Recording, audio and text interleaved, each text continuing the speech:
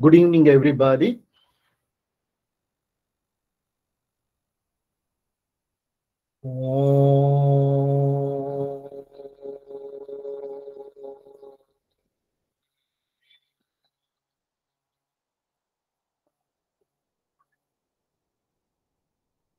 ईश्वरः परमः Krishna सच्चिदानन्दविग्रह अनादिरादिर्गोविन्द सर्वकारणकारणम् I render my salutations to the rootless root of all and the causeless cause of all. I place my prostrations at the feet of all the liberated masters. And I thankfully render my salutations to the divinity which is inherent and innate in all of us. Thank you very much, Mr. Vasudev and Mrs. Vani Vasudev, the directors of Meditation and Study Circle, for giving me an opportunity to speak in this particular platform. My association with Meditation and Study Circle goes back to around 23 years. I have been so fortunate to be associated for such a long time with this particular platform. I remember my master, my mentor, my philosopher, my guide, Mr. S. Krishnamurti, and also Mrs. Rukmini Krishnamurti for having nurtured me and for having for having guided me through this particular course of public lecturing. I get very fast connected to the audience whenever I speak through this platform. I, I, I really feel the vibes of spiritual uh, sadhaks. Most of the audience uh, who attend regular lectures in this platform are very knowledgeable and have been pursuing spiritual sadhana very seriously. And uh, they're really evolved. So I can definitely connect to them at a subtle level very fast. And I thank the audience for being enlightened and knowledgeable audience. With this, let us begin uh, the discourse for today or the satsang for today. The topic is learn to learn. Uh, we can also read it as learning to learn. No problem.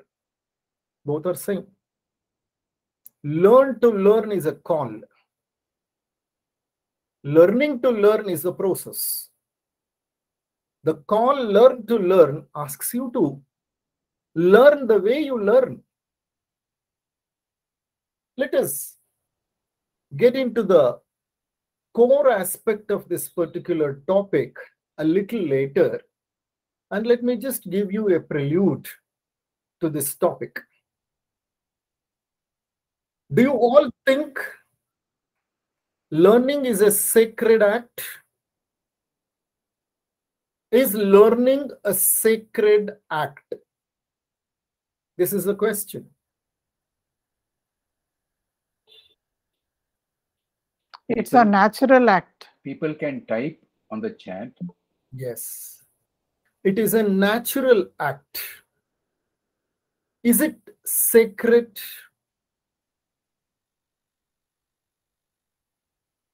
Is it a sacred act? Certainly. Why it is a sacred act? We'll just look into it after a little while.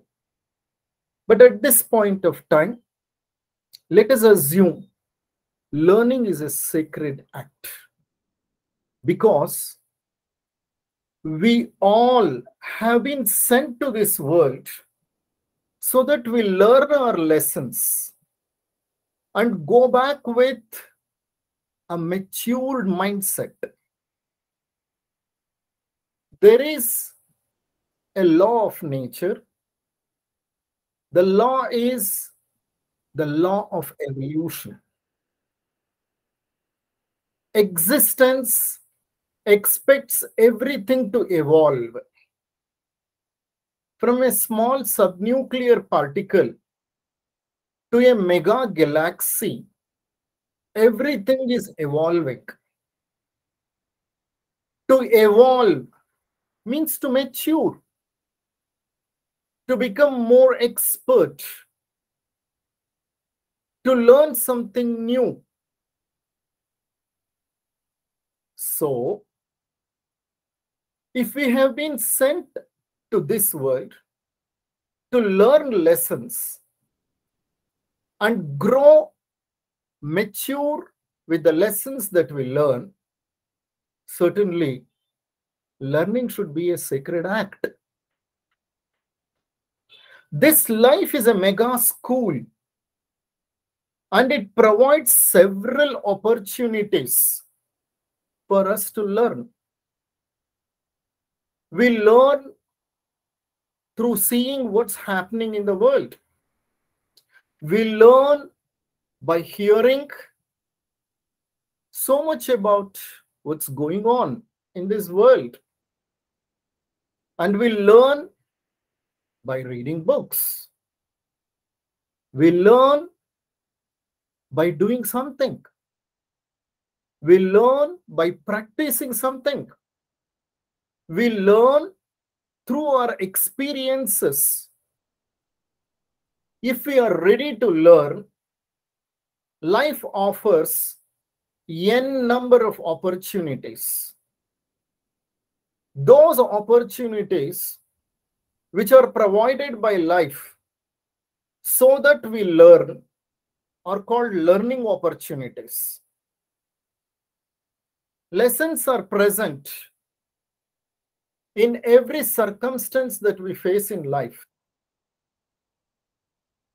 Lessons are there everywhere in this universe.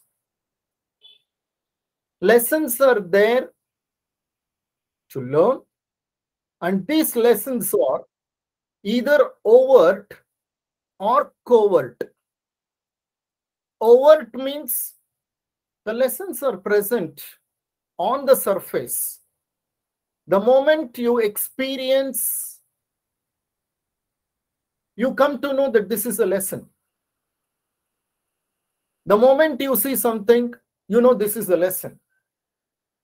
The moment you hear something, you know this is a lesson. But certain times, the lesson is hidden. The lesson is concealed. The lesson is not obvious. We need to explore the experience, internalize what we have gone through, and then we would learn. So, nevertheless, whether it is present superficially or whether it is hidden deeply, every circumstance offers lessons. Some of them are life lessons, which we can never forget in life.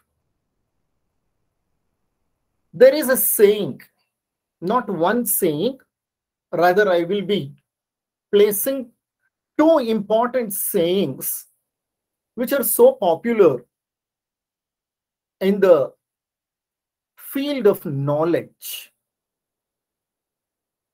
The first saying is life is for living. Do you agree life is for living? I do agree. Life is for living. God gave this life so that we live. But what is living and how you understand what is living is a different aspect. I don't want to dwell into that particular aspect as of now. In fact, I have covered this topic, life is for living, in one of the earlier lectures in the same platform. Let's not get into what is living, but there is a popular adage life is for living. Are we living? Is a different question. Let's not go into that. Life is for living. There is another adage which is also very popular. Life is for learning. Life is given to us for learning, whether you like it or whether you dislike it. Please understand you have come to this world to learn lessons.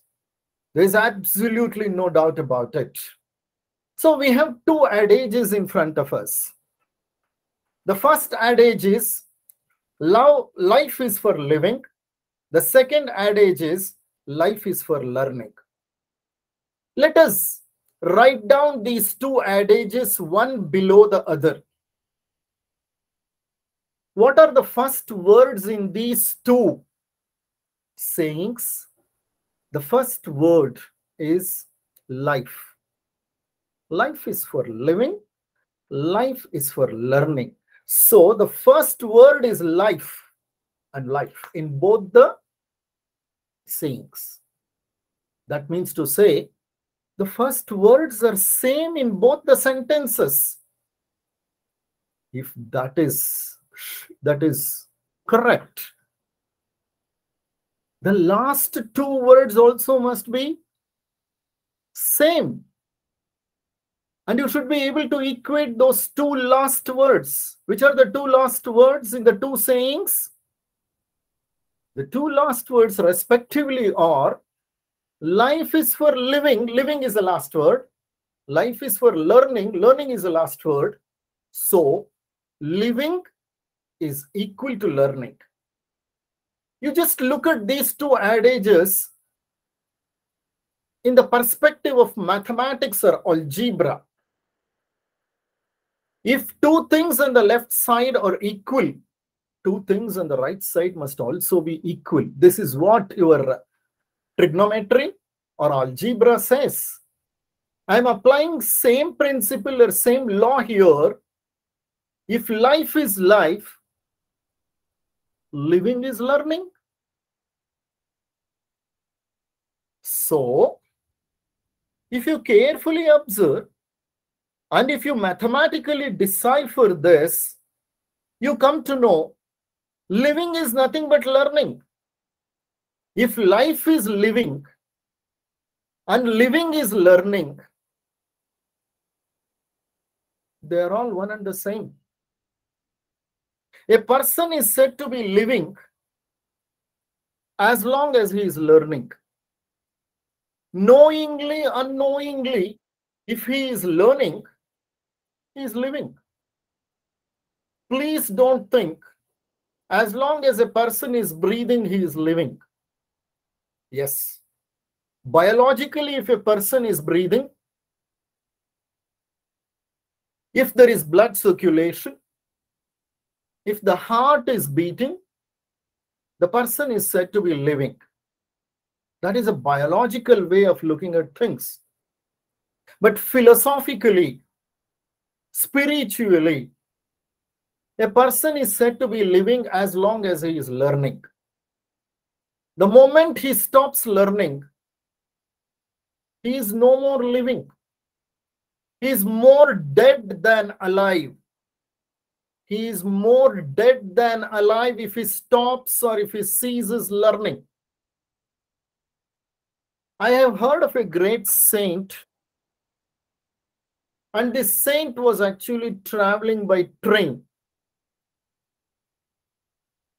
He was almost 80 years old, and he was a well known saint in India. Few passengers were also traveling with him in the same train, in the same compartment. This saint, being so old, he was learning Japanese language at the age of somewhere around 80 plus years. He was struggling to learn, he was going through those books which are giving him a view of Japanese language. All the time intensely he was involved in writing the Japanese alphabets and pronouncing it and learning it. The passengers around him were watching him keenly and surprised. One of the passenger asked him, Swamiji, how come you are learning Japanese at the age of 80 plus? What will you do after learning Japanese at this age? The Swamiji calmly answered him, My dear son, I consider that learning is living. And as long as I am learning something new, I am satisfied that I'm living.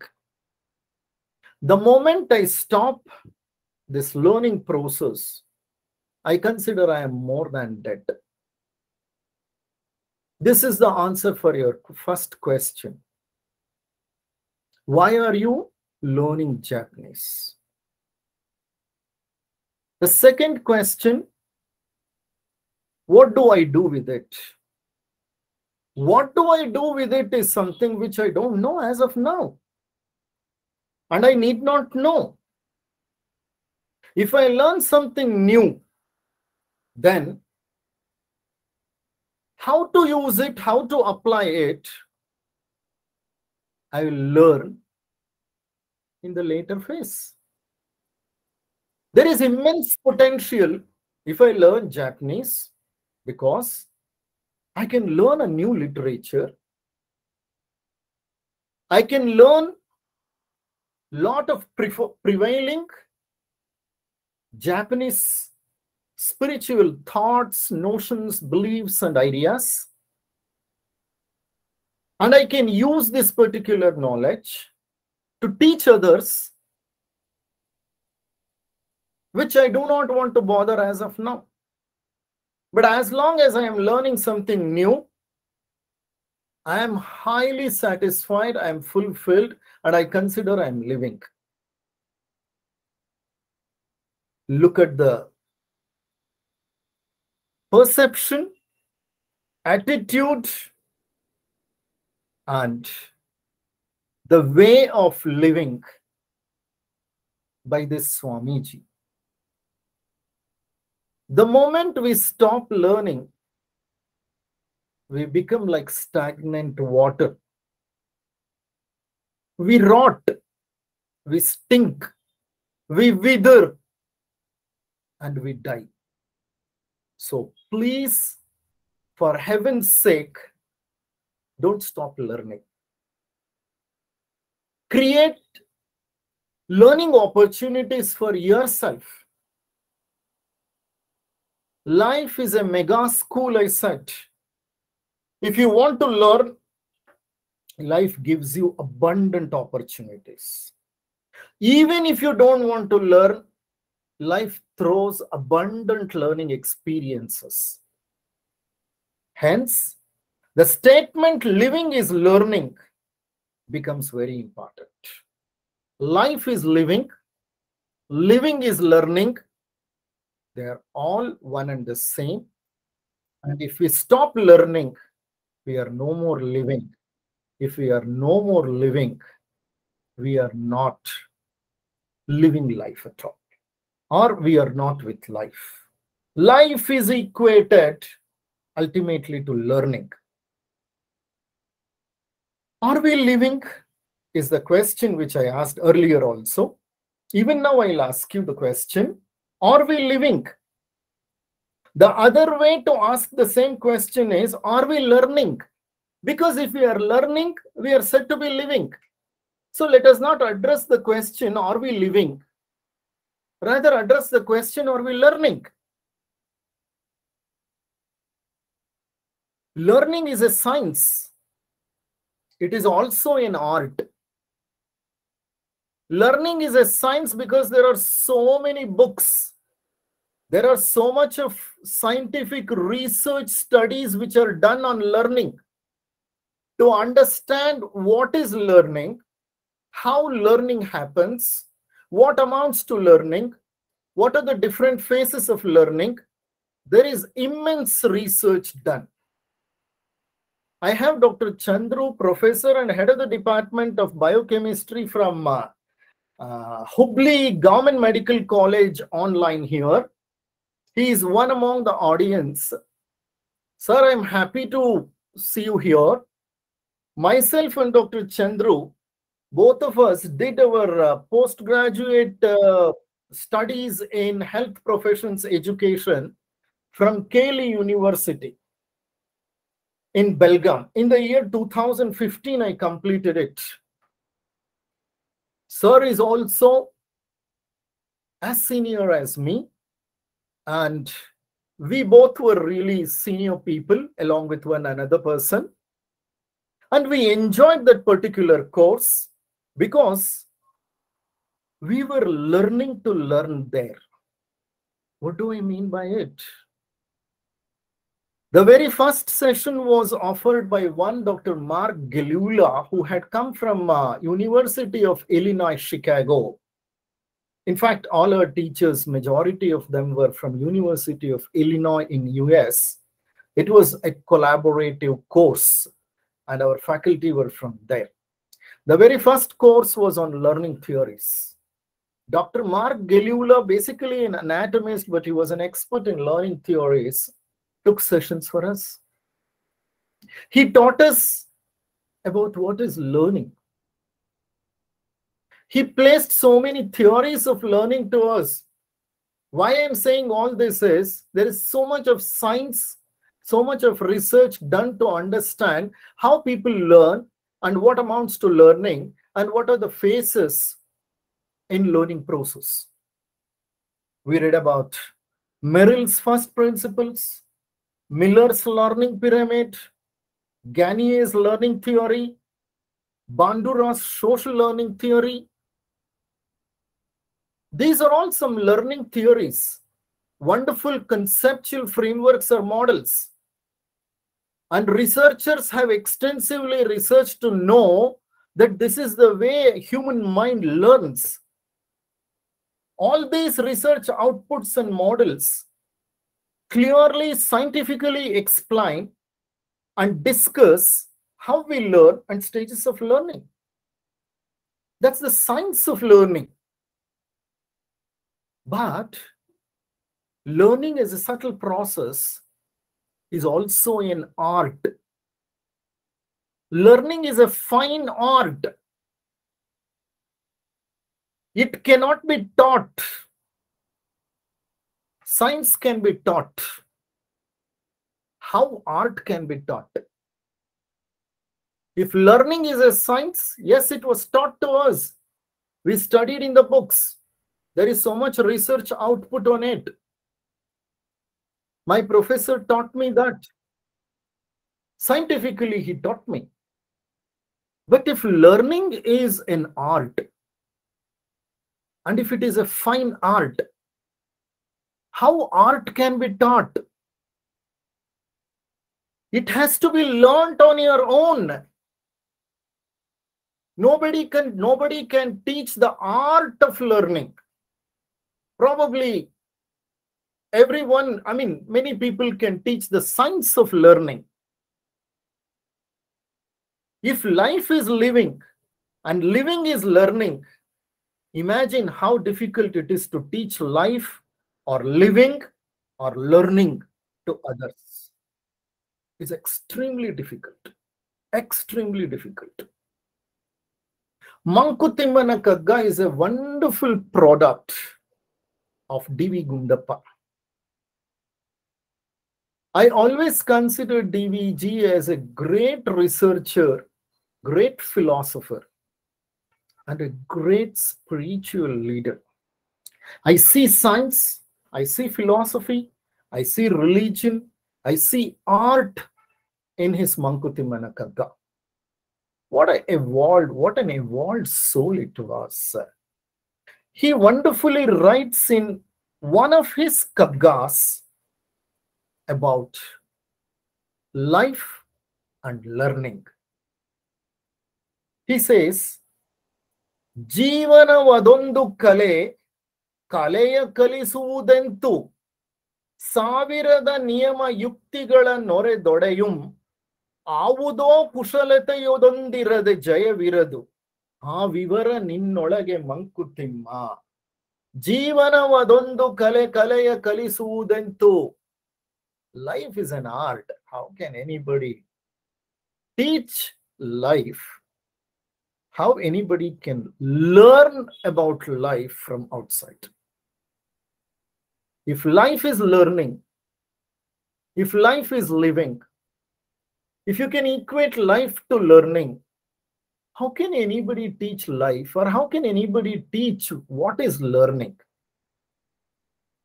The art of learning can never be taught. ಕಲೆಯ ಕಲಿಸುವುದೆಂತು ಸಾವಿರದ ನಿಯಮ ಯುಕ್ತಿಗಳ ನೊರೆದೊಡೆಯುಂ the mean means uh, there are probably thousands of laws and thousands of tacts which you may use to understand life and to understand learning although you try thousands of laws and thousands of tacts you don't understand you don't get the grasp of life or learning unless and until ಆವುದೋ ಕುಶಲತೆಯದೊಂದಿರದೆ ಜಯವಿರದು ಆವುದೋ ಕುಶಲತೆ there is some particular skill ಆವುದು ಆವುದು means some some skill unless you have that skill ಜಯವಿರದು you cannot become successful R victorious ಆ ವಿವರ ನಿನ್ನೊಳಗೆ Mankutimma what is that ಯಾವುದೋ ಕುಶಲತೆ what is that unique skill he says which should be there in order to learn learning in order to live life what is that something which is unique ಆ ವಿವರ ನಿನ್ನೊಳಗೆ Mankutimma those details are there with in you please get inside. There is a call given by D.V. Gundappa. Please get inside to learn how to learn. Or please get inside to learn the life lessons. Learn to learn or learning to learn is a wonderful concept where students or learners direct their learning and know how they learn best. You need to direct your learning and know how you learn best.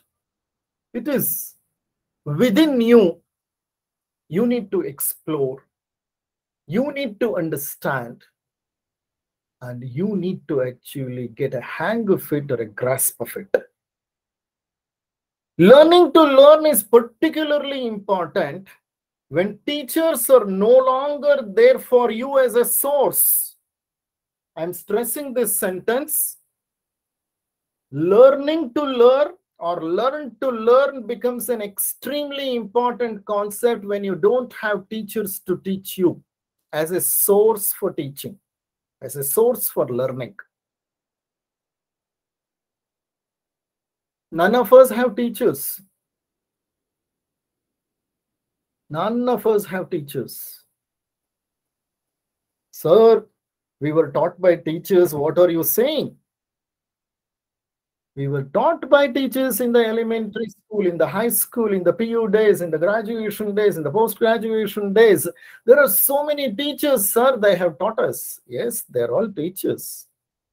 I agree but they're not masters. They taught you at a level. That's all. But you're indebted to them, no doubt, no doubt. Carry that gratitude. But uh, D.V. Gundappa in one of his kagas wonderfully says, ಗುರುವಾರು ನಿನಗಹರು ನೀನೊಬ್ಬ ತಬ್ಬಲಿಗ ಸಿಕ್ಕಿದ ಕೆಳೆದೆಂಜಲನು ತಿಂದು ದಿನ ಕಳೆ ನಿನಗೆ ನೀನೇ ಗುರುವೋ Mankutimma ಗುರುವಾರು ನಿನಗಹರು Who is there as master for you, man? You don't have any masters. No. You are your master. Your awareness is your master. That is why Lord Basaveshwara also said, Arive Guru. Your awareness is your Guru. So many times in life, the situations that you face in life, the, the circumstances that you come across in your life, teach lot of lessons to you. If you are wide open to the lessons which are present in those circumstances, learning when happens effectively you move from unknown to known and known to transformation. When effectively you learn, you change from inside. Anything, if you learn effectively, if you learn to its effect, you should change. You should change from inside and you should change from outside. Learning means knowing, internalizing, practicing, evaluating, and adopting something which is hitherto not a part of your life. Learning is knowing, internalizing, practicing, evaluating, and adopting. These are the stages in which you learn. And when effectively you learn, the last step is adoption. Adoption means whatever you learn, when you evaluate, and if you find it worthwhile, you transform yourself. You change yourself.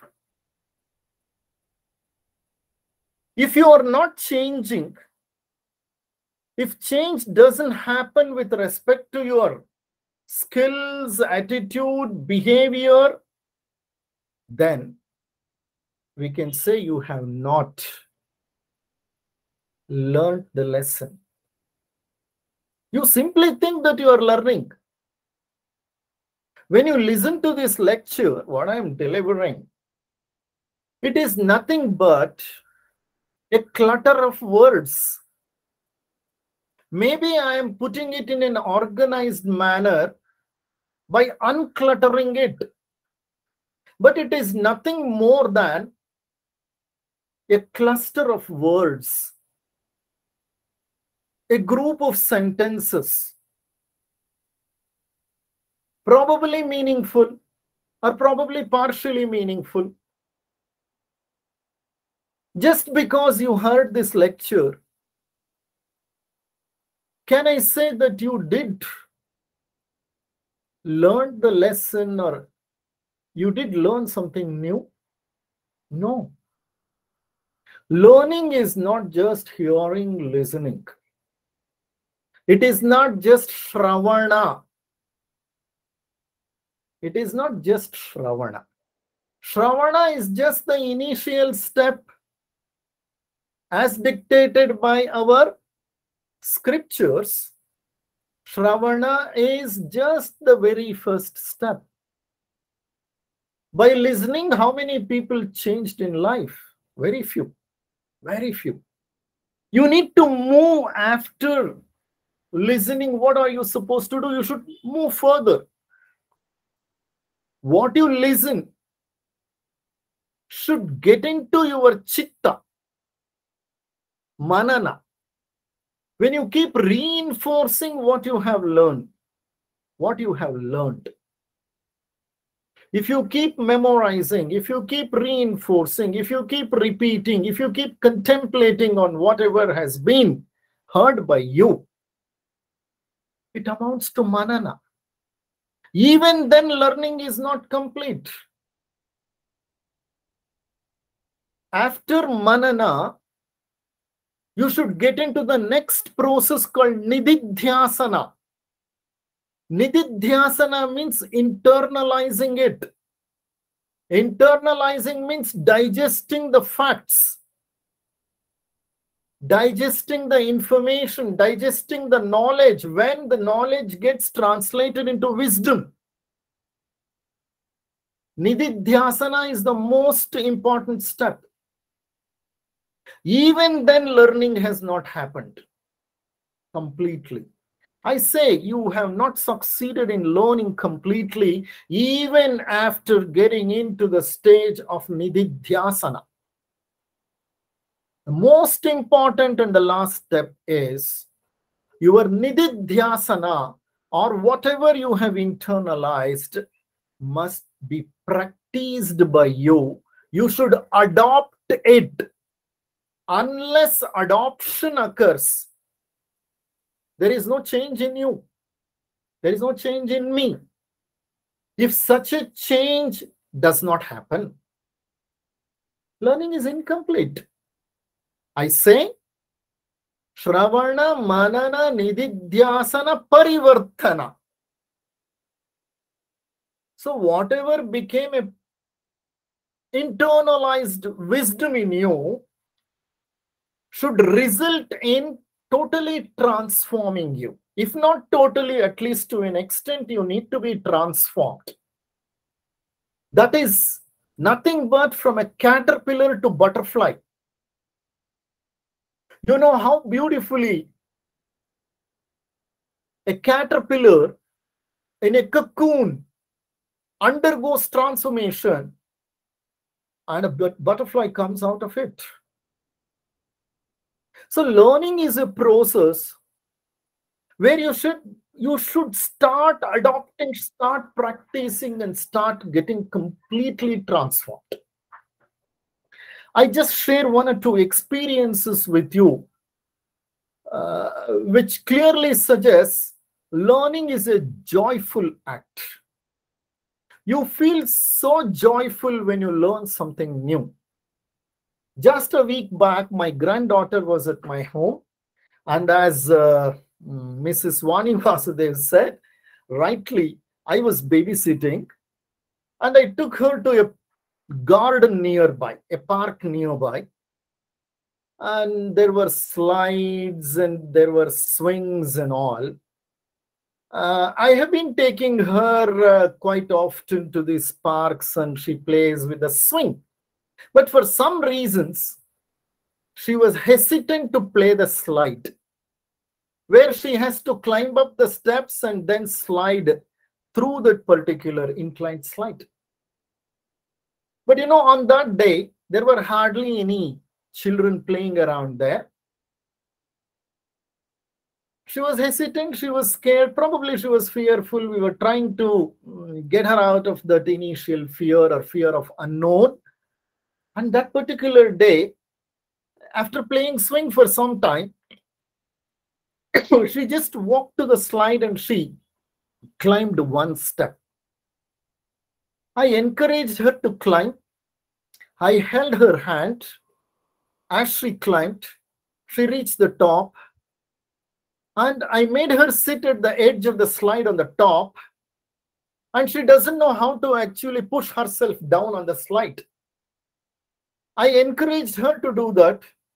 She was about to get up and just leave her attempt because she was scared. I motivated her by patting her on the back. And I just pushed her a little bit. And as she was sliding, I came down and I caught her as she landed. The moment she landed safely, you know, she was clapping her hands. She was so full of smile and laughter. She was giggling. She was so cheerful. She was so excited. You know why she was so excited? Looking at the slide, she is jumping on the ground. For the first time in her life, she could succeed sliding and she safely landed. She enjoyed that moment. You know why she enjoyed? Because learning is truly a joyful act. She knows that she did learn something and something that is new. And it gave so much of joy to her. When we learn, why don't we enjoy that particular moment? How come children enjoy when they learn something new? Because for children, everything is a wonder. Everything is new, everything is fresh, everything is novel. But we people, as we grow, our mind becomes so mechanical. We don't see anything with wonder. We lose that sense of seeing things with wonder. Everything becomes a routine. However, new that particular thing, that new thing may actually ama- may be amazing us, but we are not joyful. Learning, in fact, is a very joyful act. We have experienced it for some time. Some people enjoy it for a long time because they have not that sense of seeing new things with wonder. But we people have grown quite mechanical and converted the whole life into a mechanical act. When you learn, you change. See, that's what happened with my granddaughter. She started pushing me to take her to the steps, and she successfully climbed the steps, and many times she has played that slide on that day. And thoroughly she enjoyed for half an hour or so, and she was still reluctant to leave the place. I forcibly I brought her back home. She was enjoying it. Why are we not like children? Because our mind is so much conditioned, so much preconditioned. We are not ready to unlearn. Unless we unlearn, we cannot learn. And unless we unlearn, we cannot enjoy the learning and the process of learning. And when you learn, a change that happens with respect to the result of internalization of lesson.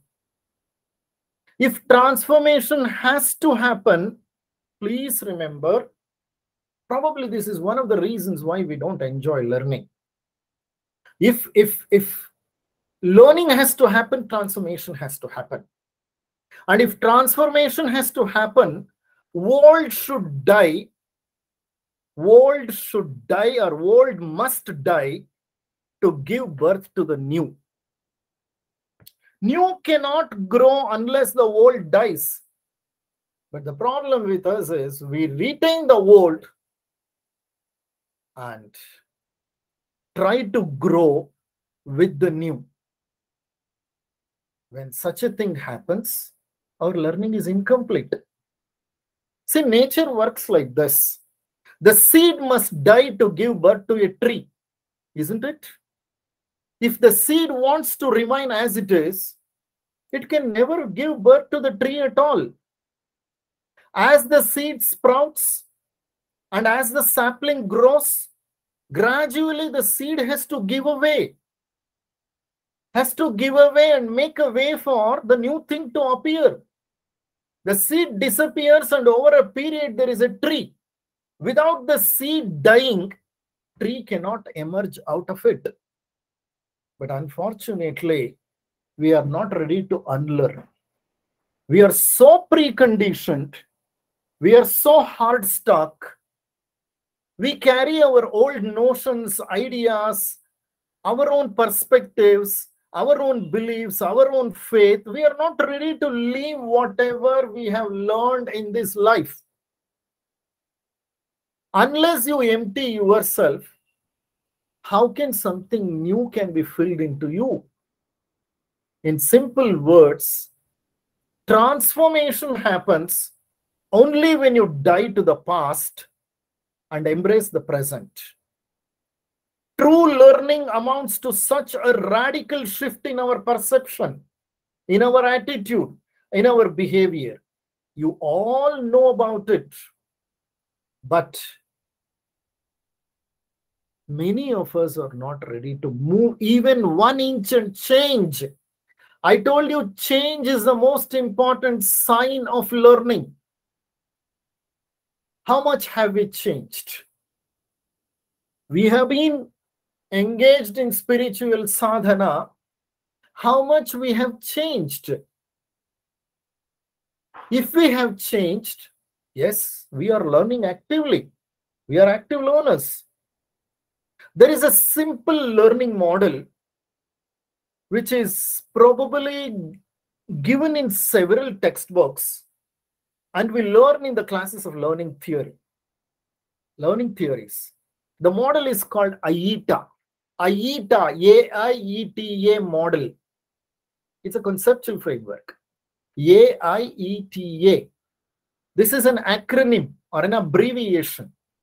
A stands for awareness. The first alphabet a here stands for awareness i stands for interest E stands for evaluation, T stands for trial, and the last alphabet A stands for adoption.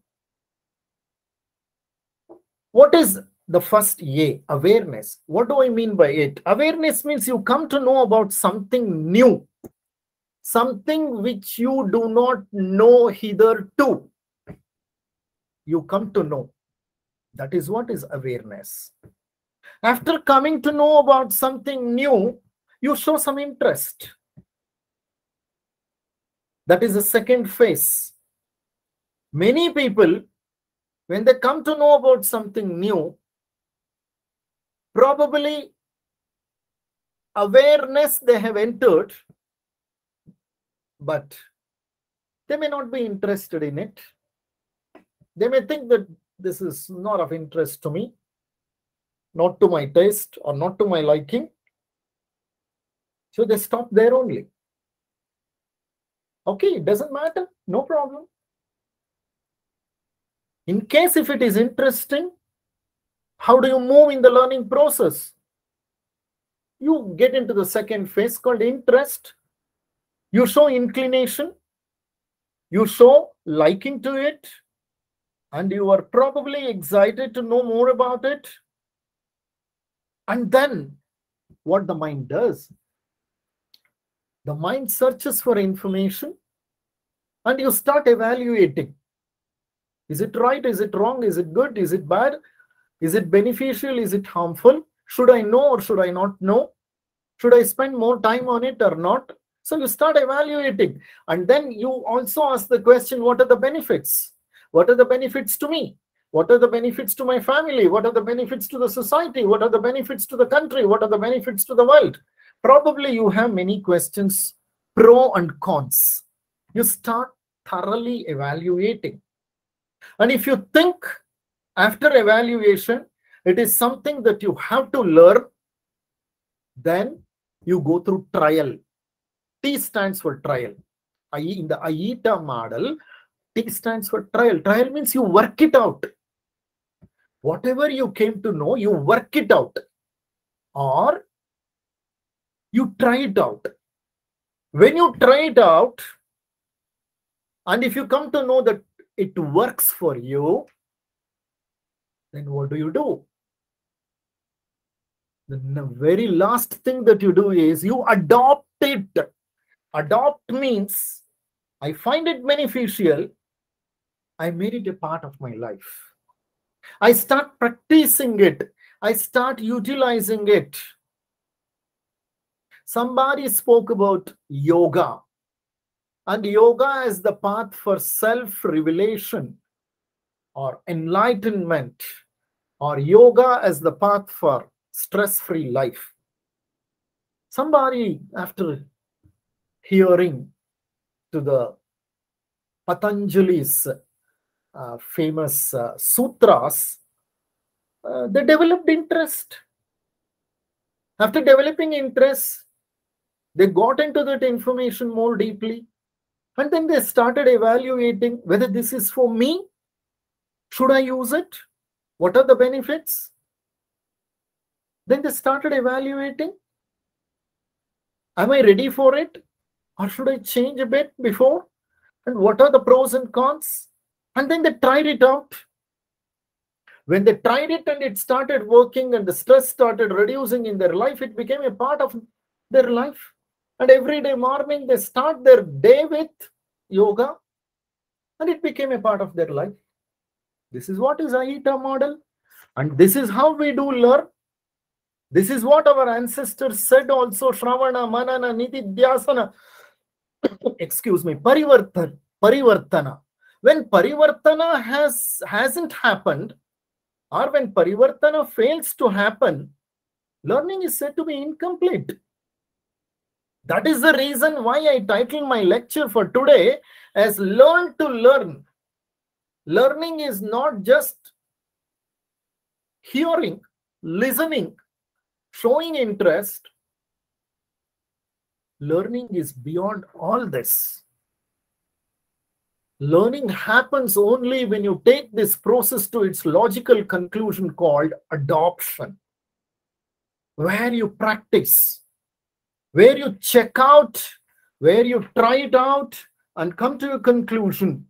And when that particular thing becomes your habit or your routine, or when it transforms you from inside or from outside. I just like to share two anecdotes with you people. A person attended few lectures of Azar Kaiwan Azar Kaiwan was a Persian saint. He was basically a Parsi, Zarathustrian he was. He was from Persia. He migrated to India, he settled in Persia, and he was conducting a lot of spiritual discourses, or what you call satsangs a person attended a series of lectures given by Azar Kaiwan on spirituality. This person was so impressed by the lectures of the saint and he decided to become a fakir. Just like Azar Kaiwan, he was also motivated to become a fakir.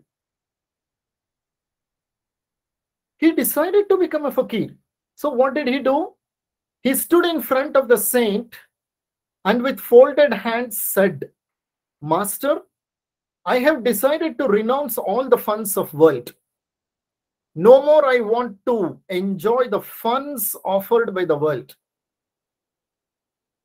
I have already sworn that I am going to get out of my family world and family bonds.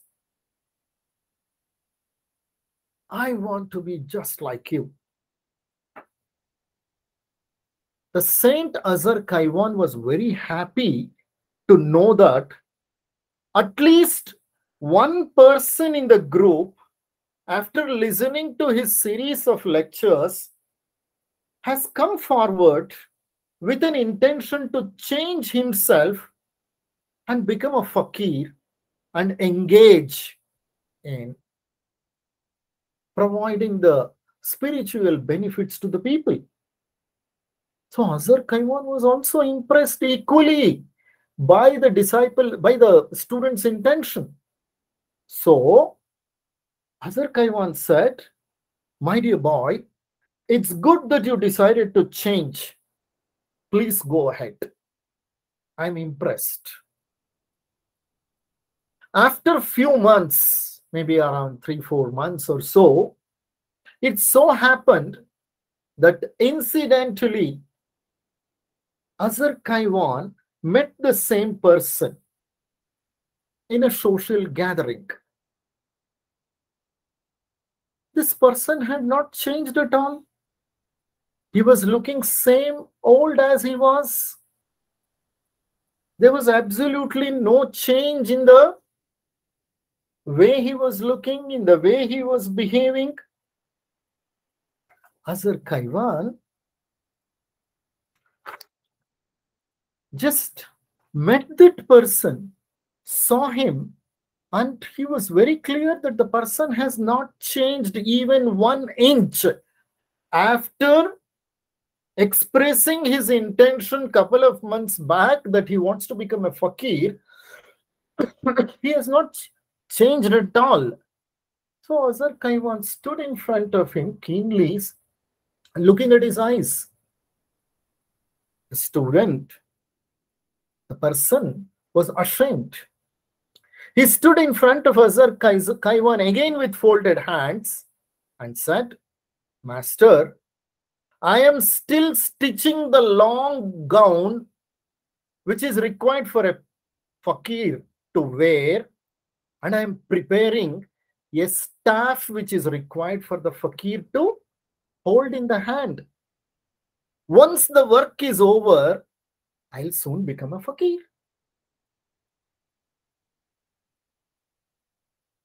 Azar Kaiwan smiled at him and said, Look, my dear student, people become fakirs to leave everything. But you seem to be racking your head to prepare some things to become fakir. You leave this place because you are not yet ready to change. Your learning is incomplete, he said. There's a wonderful message here. A lot of us are like that person. We get impressed, we get motivated, but many times that doesn't last for a long time.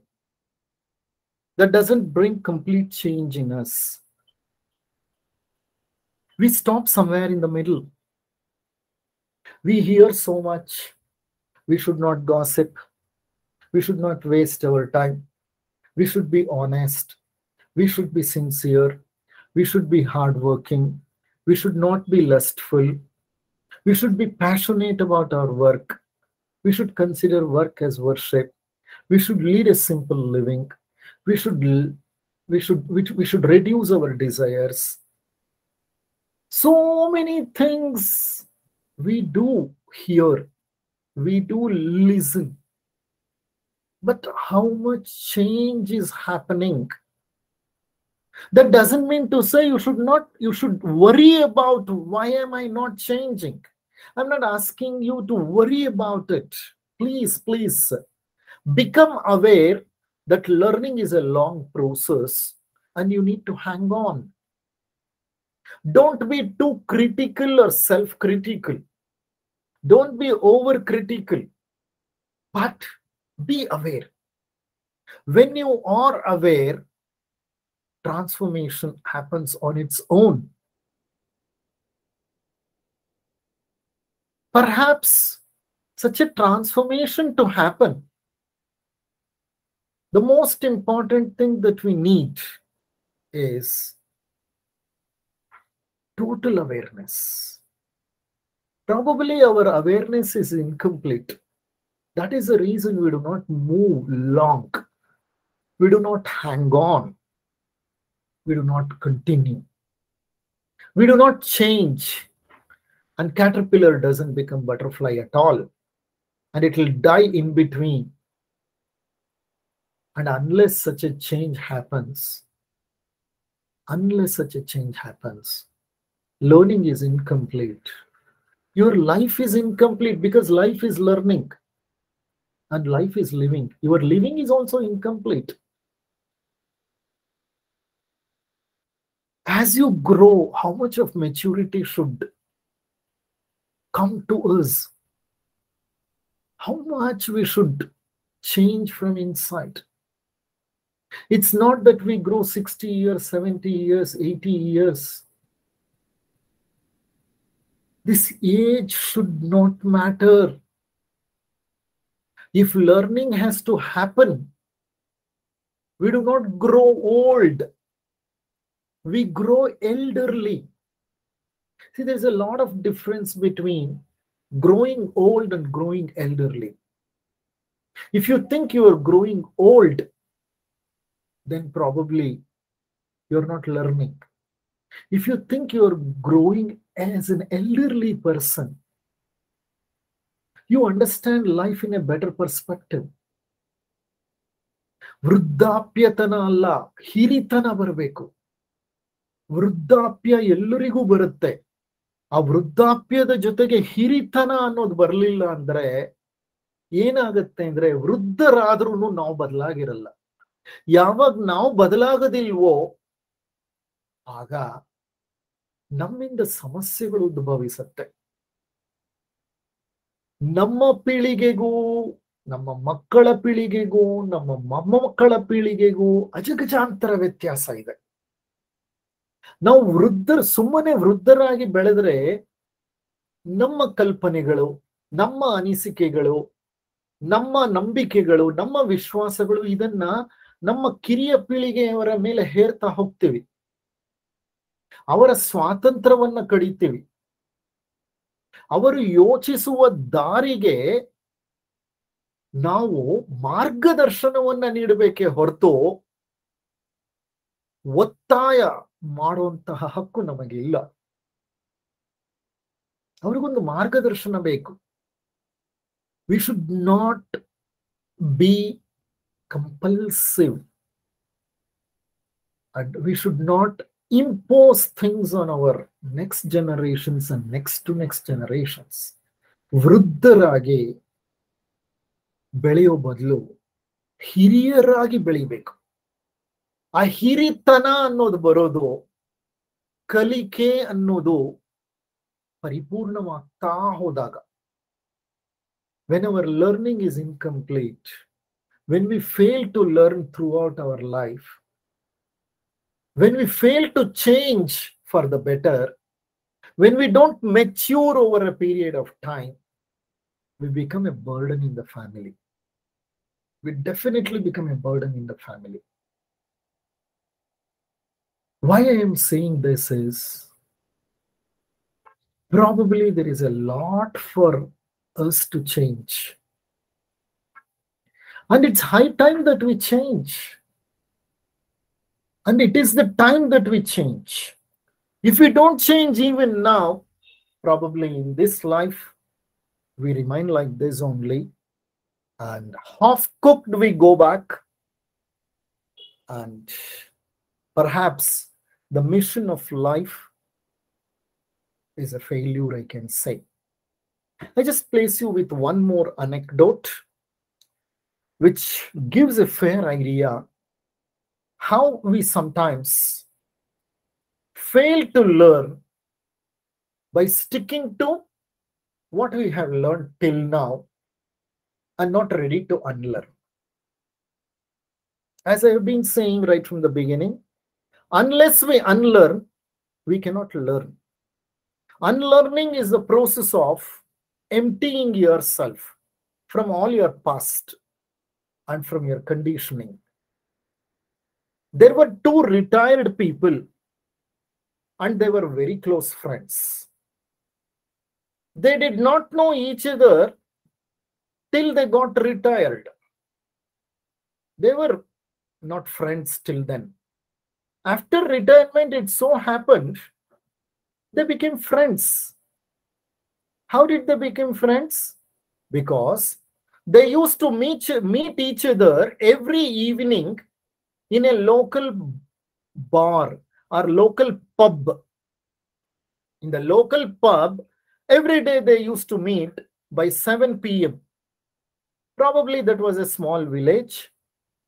And in that village, there was a local pub. These two retired people used to visit that pub in the evening by 7, o- 7 o'clock or 7 p.m. and sit across a table drink till 10 o'clock or 11 o'clock in the night and go home after heavily drunk. So they were the friends and they became friends by meeting each other in the local pub. Every day they used to come in the evening sharp by 7 o'clock and used to stay till 10, 11 o'clock in the night. And they used to share the table and they used to drink the bar owner, the bartender, the customers there, the bearers, everybody knew very well that these two are regular visitors and they are close friends.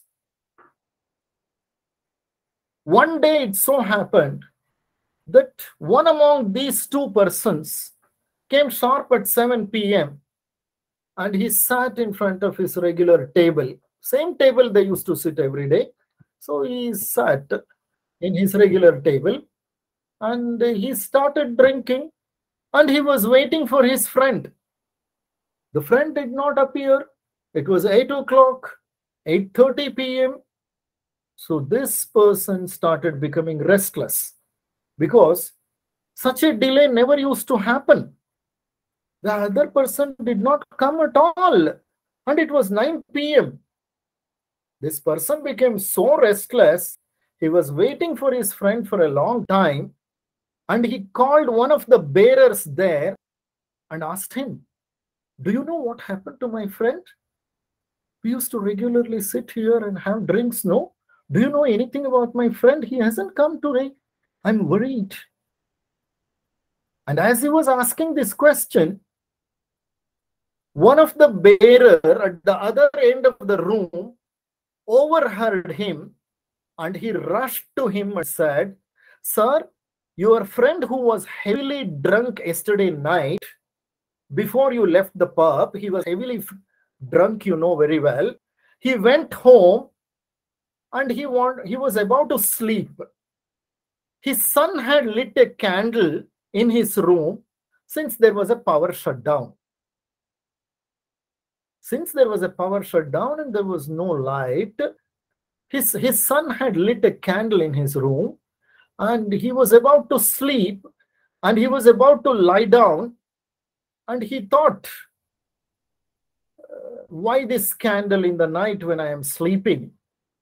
And he tried blowing air from his mouth in order to put off the candle flame.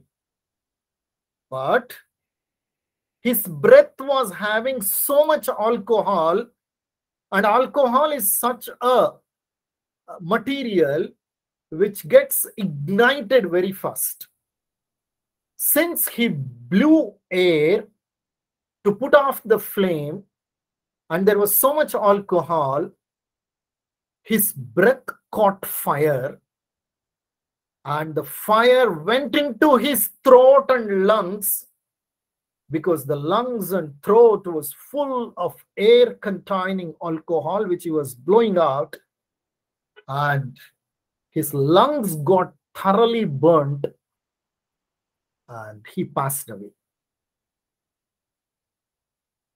hearing all this this person who was waiting for his friend's eyes filled with tears he lamented the loss of his friend and the freak accident which killed his friend.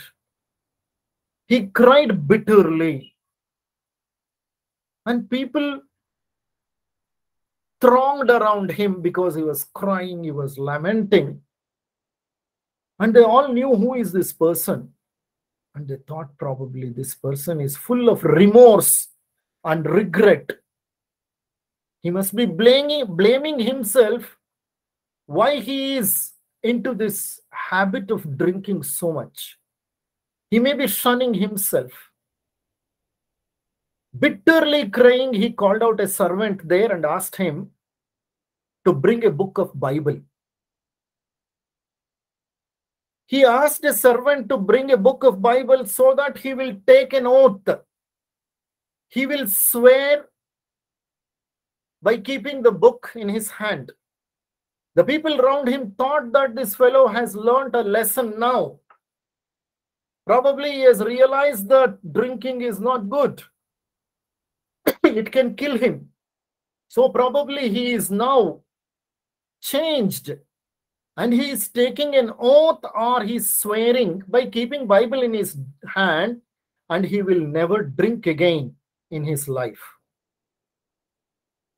The incident has made him understand how dangerous it is to drink alcohol. Okay, Bible was brought to him and they kept the Bible on a neat table. Many people gathered around him to see him swearing. This man gently walked to the table, kept his hand on the Bible. He took the Bible in his hand and he placed his palm of his right hand on the Bible book and sweared, saying, I'm cautious. After hearing what happened to my friend, I have learnt a lesson. Henceforth, in my life, I will never blow the candle flame when I am drunk. So he is swearing, henceforth, I will not blow the candle flame when I am drunk. This is the lesson that he did learn. And this is what is the change that happened in that person. Look how much he has learned and what he has learned. He did not learn to give up the habit and transform himself completely. People who had gathered around him were dismayed because they thought that this person is so changed now after uh, hearing the shocking news of the death of his friend. But he has not changed for the good. This is what happens when we fail to learn the way that we are supposed to learn. This world is a mega growth school. Mega growth school. Life doesn't leave anybody. You have come to learn, you have to learn. If you fail to learn, the life starts giving you the same lessons. It starts creating same circumstances it starts recycling. There is a term called recycling. What do we mean by recycling? Let us say you are not a very courageous person. Life throws a situation at you where you have to become courageous. You have to become brave and bold. If you fail to learn how to be brave, how to be bold, perhaps that situation may disappear in some way. But again another situation appears in front of you which will force you to become brave and bold if you don't learn then also again a similar situation comes up. You are going to be taught till you learn that lesson. If you fail to learn that lesson you keep learning and similar situations keep arising again and again and again and that's called as recycling. If you want to live a life with full of maturity, you need to learn lessons first. You need not require multiple circumstances of similar kind teaching one particular lesson to you. Learn the lesson as fast as possible. It is just that the curriculum is different for different persons. We all have come to this mega school of growth to learn and grow and the life keeps throwing several circumstances which is which are ready to teach you in case if you are ready to learn. But please remember the curriculum differs from a person to person. Same kind of circumstances i do not pass through what you pass through because your curriculum is different. You may be bold brave and courageous. You have come with that in this life. Probably you may not be. Having some other quality, maybe hard work, it's lacking in you. So to make you a hard worker or a kayaka yogi, karma yogi, probably life may create such situations in front of you where you are forced to become a hard worker. So that means to say everybody will pass through their own curriculum, their own lessons. Once you learn one lesson, let us say patience, how to be patient how should be patient how should we be patient? Even in adverse situations. Even in very very adverse situations how to remain patient how not to become angry how to tolerate situations.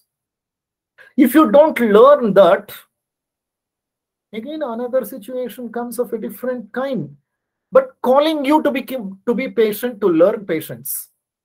If you learn it with one incident or one circumstance you move on to another lesson. Maybe the other lesson how to be honest even in how to be honest even in tough conditions and tough situations if you learn honesty probably another situation may arise where it calls you to be loyal to your to your principles. It may expect you to become loyal and remain loyal to what you think. When we learn a lesson we would have changed profoundly. It is almost as if we shed an old skin. Each time we get a new lesson it is like shedding the old skin if we don't shed the old skin, the new skin cannot appear. You might have seen the snakes, how they keep shedding the old skin. If they fail to shed the old skin, the new skin cannot get exposed. Cannot get exposed. If this doesn't happen, our learning is incomplete, and there is a need for us to learn to learn there is a dire need for many of us to learn to learn because we do not know what it means to learn. If you don't learn lessons, life is going to teach same lessons repeatedly, what I call recycling. Your current situation in life, wherever you are, whatever you are, and what circumstances you are as of now facing your current reality.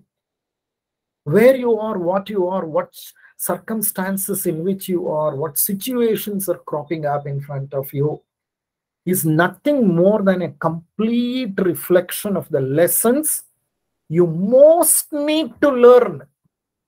Most need to learn. Sir i'm helpless. I'm helpless I'm dependent on somebody, and that somebody is shunning me every day, cursing me every day, scolding me every day. Okay? It's a situation in which what you are supposed to learn how to be patient, how to practice tolerance, how to remain peaceful despite the situation is so adverse and you have been criticized day in and day out for everything. Learn learn. What is there to learn? Instead of looking at the fault of others why not we look at ourselves and ask a question what is there to learn from my side in this given situation? Life is full of ups and downs. Every up is a success and every down is a failure. Start focusing on your failures. Because failure is the place where you learn a lot. Where you learn a lot failure creates such opportunities for you so that you learn better. In success you learn very less. The things that you dislike about your life like your irritations your stressors are all nothing more than vehicles that carry the lessons you need to learn. See, if you are irritated with something, if you are stressed with something, and if you are uh, having your own troubles, probably there are so many lessons to learn from whom you are getting irritated, with what particular circumstance you are getting irritated if you are getting irritated, that's the place where there is some learning for you, where there is some lesson for you. If you are getting disturbed by the sight of a person, there is something to learn from that person.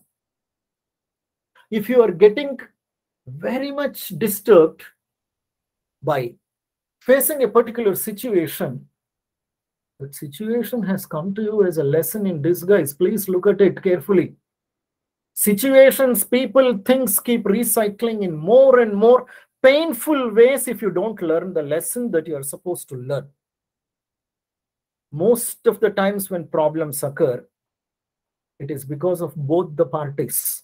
You might have seen the small scuffles, quarrels, verbal altercations which start within the family members or between the family members or between the people in the society, between colleagues where you're working at a place.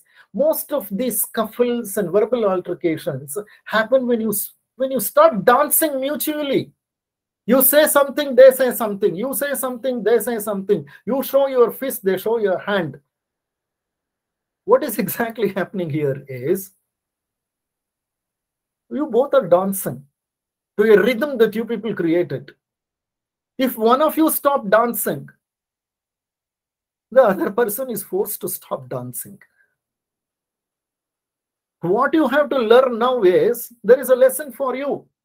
The lesson is to stop dancing. When you stop dancing, things change. That means to say, by changing your behavior, you're tacitly guiding the other person to change his or her behavior. Sir, I stopped. Uh, I stopped uh, throwing tantrums at him, sir, but he continued. Yes, let him continue. How long will he continue? Why are you disturbed after you stopped? Simply said, let him continue. How long will he continue?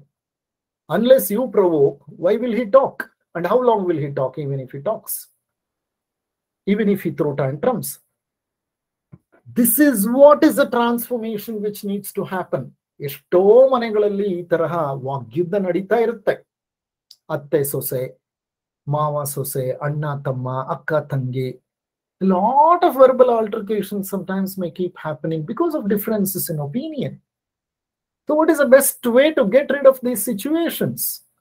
transform yourself, change yourself, stop dancing to the tune, and allow the other person also tacitly to change his behavior. This change or transformation, when happens in us, we have truly learned the lesson.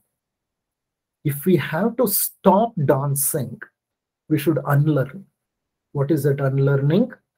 we have always danced always we danced and always we kept dancing and always we created scuffles differences fights altercations.